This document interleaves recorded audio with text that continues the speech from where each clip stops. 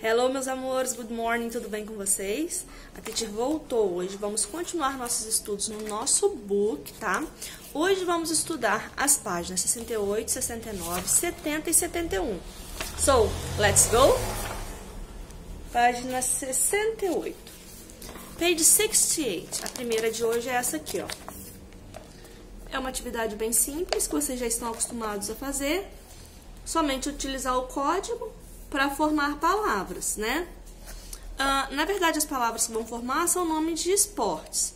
Após vocês formarem o nome do esporte aqui, vocês vão relacionar com o tipo de quadra, tipo de local onde esse esporte é praticado, ok? Esse é bem tranquilo. Bom, página 69, essa aqui. O que está pedindo? Read and match. Leia e relacione. Aqui, ó. Do you know what these animals can or can't do? Você sabe o que esses animais podem ou não podem fazer? O que vocês vão ler?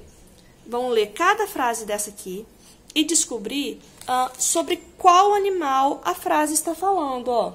Nós temos o penguin, camel, koala, elephant, tiger, whale e kangaroo. Então, vocês vão ler e apenas descobrir sobre qual animal está falando. É bem tranquila essa atividade também. Uh, não é um vocabulário muito difícil, vocês conseguem fazer. A página 70 também é bem fácil, é essa aqui. O que, que vocês precisam fazer aqui, gente? Match and write.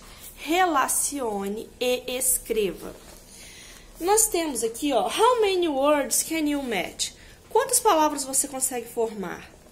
Porque aqui nós temos palavras compostas. Por exemplo, good morning são duas palavras, mas que representam uma coisa só. Ou então que nós aprendemos há pouco tempo, food court, né? Praça de alimentação. Duas palavras, mas representam uma coisa só. Então, o que vocês vão fazer? Vão usar as palavras aqui da caixa para montar. Por exemplo, nós temos good aqui e temos morning. A primeira palavra, good morning, já está montada. Vocês vão montar uma palavra para cada linha dessa, tá? Nós temos combinações suficientes para preencher todas essas linhas. Então, eu quero todas as linhas preenchidas. Beleza, meus amores? E aqui embaixo, ó.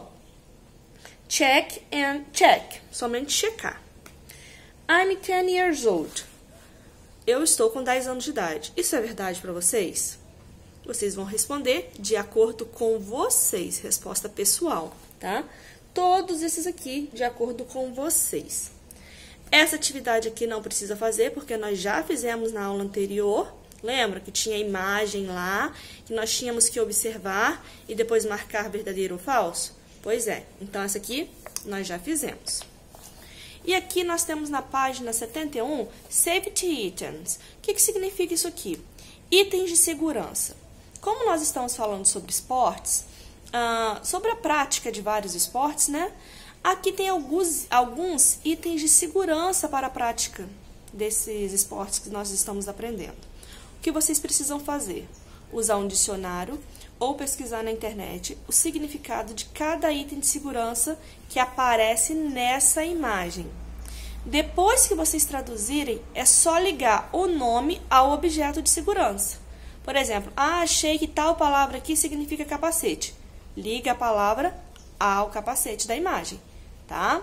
As palavras já estão ao lado das imagens, então não vai ficar difícil de ligar. É bem tranquilo. E aqui embaixo, a última atividade. Watch the signs and match. Olhe as placas e relacione. Cada placa dessa significa uma coisa, né? Óbvio. E aqui embaixo nós temos os significados da placa. Então vocês vão relacionar significado a imagem.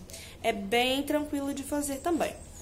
Como sempre vocês sabem, se vocês tiverem qualquer dúvida, não entenderam qualquer coisa, eu estou à disposição de vocês no WhatsApp, tá? Toda terça, toda quinta, de 8 a meio-dia, eu estou lá somente para responder vocês. Se mandarem em outro horário, normalmente eu costumo responder também. Mas nem sempre eu consigo responder na hora que vocês mandam. Mas se for terça e quinta de 8 a meio-dia, vou estar lá totalmente disponível para vocês. Meus amores, Não deixem passar nenhuma dúvida. Perguntem tudo o que precisarem. Amo vocês, estou com saudades. Kisses, see you!